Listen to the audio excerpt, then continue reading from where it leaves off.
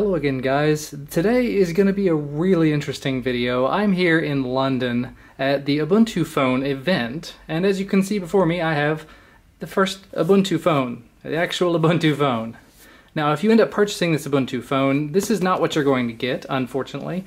This is uh, specifically uh, only for the Insiders event that I'm at but I thought I would just go ahead and open it for you because it is a really interesting and unique looking package. Now I'm going to call this a pseudo unboxing because technically I've actually already opened the package. The the guys from Ubuntu asked if I would do it on camera just so they could get a little bit of footage for for the unboxing. But I went ahead and packaged it all back up. I looked at it very minimally and so now we're going to take a little more in-depth look at this box. So yeah, this is the Ubuntu phone. If you're not familiar with it already, it's the BQ Aquaris E45 or 4.5. There we go. Uh, and this is this weird little origami puzzle that they kind of put together for it. Very interesting little concept there. So yeah, here is envelope. Probably got some personal stuff in it. Yeah, basically just a just a letter from Mark Shuttleworth. You know, don't worry about it.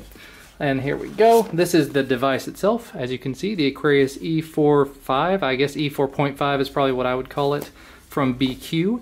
Uh, the CEO of BQ, I believe, was here, Rodrigo. Uh, he gave a little speech at the Insiders event, so very nice to get to see their thoughts and opinions on the subject. This is a bit unexpected, I will say that. I, I did see it ahead of time, but I didn't get a chance to really look at it. A pair of very interesting looking headphones. It says Urbanears. That's a brand I've actually never used, so it'll be interesting to try these out and just see how they look and how they feel and how they sound. They're on ear, so they're not massive or anything. Maybe try them on the plane on the way home, right? But anyway, the thing that you all are here for, and just so you're aware, there's, as far as I can tell, there's nothing else in this box, just a massive amount of foam. So we'll go ahead and move all this off to the side. So now for the main event, the meat and potatoes as it were, the Aquaris E45. This box is very, very tight. Now there was a um, shrink wrap on the screen, there was a, a, piece of plastic on the screen. I went ahead and pulled that off earlier just because it looked a little bit rough. But there you go. Uh, flat black screen. You've got your front facing camera up here. You know, speaker uh, speakers down here. There's not front facing speakers, micro USB. Here we have dual SIM slots. I'm gonna have to get my paperclip out and open these up and see uh, if there's something inside of this one because this one is actually popped out a little bit. Oh, I just Gave it a little pressure and it went right back in, no problem. Here on the back we have the camera with the dual LED flash, BQ branding, Aquaris E45, power button volume rocker here on the side. And now, just, you know, because this is probably what you all are here for, start this puppy up. And I guess while we wait for that to start up, because when I started it up before, I did a, a factory reset afterwards, so it's going to take a little while. And I've told the, uh, the, the people from Canonical about that, and they're aware of it. There you go. Ubuntu phone, life at your fingertips. You've got a little fingertip guide there, how-tos, edge magic, stuff like that. You've got in here the standard stuff you would expect to find with any sort of phone. You've got your wall charger, which is not going to do me a whole lot of good because that's that's uh, European. And then you've got your micro USB cable. There you go, micro USB. Let's see how long this sucker is. Yeah, I would say that's probably two feet, something like that. It's not quite three feet long. So let's go ahead and put this off to the side. It looks like the phone's almost ready to be done starting up. And there you go. Hi, let's get you started using your Ubuntu phone. So I hit that. It says add a SIM card and restart your device. I'm not going to do that right now. I do have a SIM I can stick in it, but I'm not going to do that. We're not going to turn on security right now. I can do that later. And since I am staying in Le Méridien, I'm going to go ahead and connect to their Wi-Fi. Hopefully that'll work. Allow apps to use the Wi-Fi? Sure. And nice work, we're all done. There you go. I will say that that startup experience the first time it does take quite a little while. I mean we're we are talking only about a minute and a half, but still. There you go. So that's the Ubuntu phone. And it gives you this little intro here. You can do the right edge swipe to unlock the phone. It's going to tell you how to swipe down from the top edge. It's going to tell you to close things by swiping up to to close the settings screen and then swipe from the left edge to get the launcher for quick apps. Well done, you've mastered the edge gestures. I do remember seeing this when it first became available, the this you know startup intro thing, very very handy.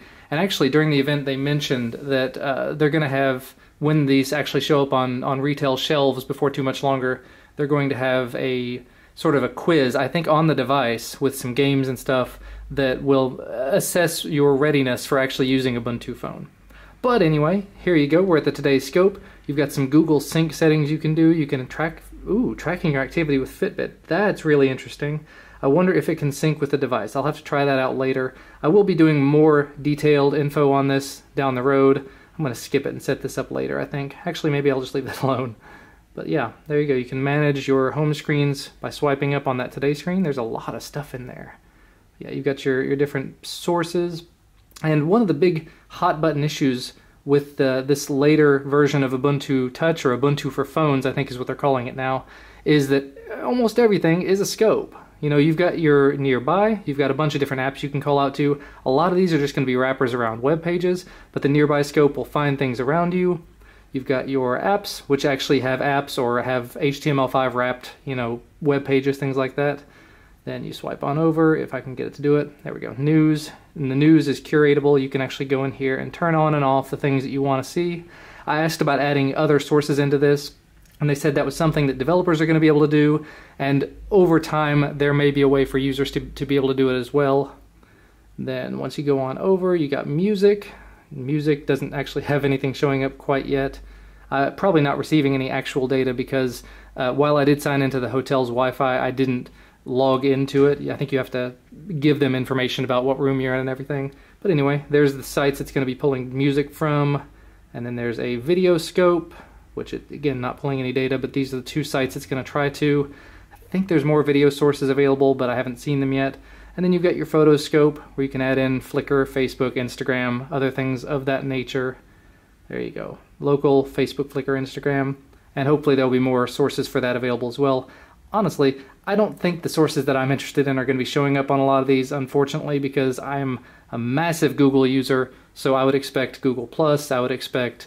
Um, I think Gmail does work with this. I'll have to give it a shot.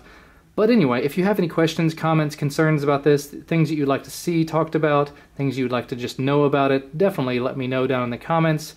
But you know what? I'm actually going to be heading back to the Ubuntu event because it's still in progress. I was just that excited about it. I had to come back to the room. I had to go ahead and make a video about this. And hopefully you're excited about this as I am. Uh, but yeah, that's going to be about all for me for today.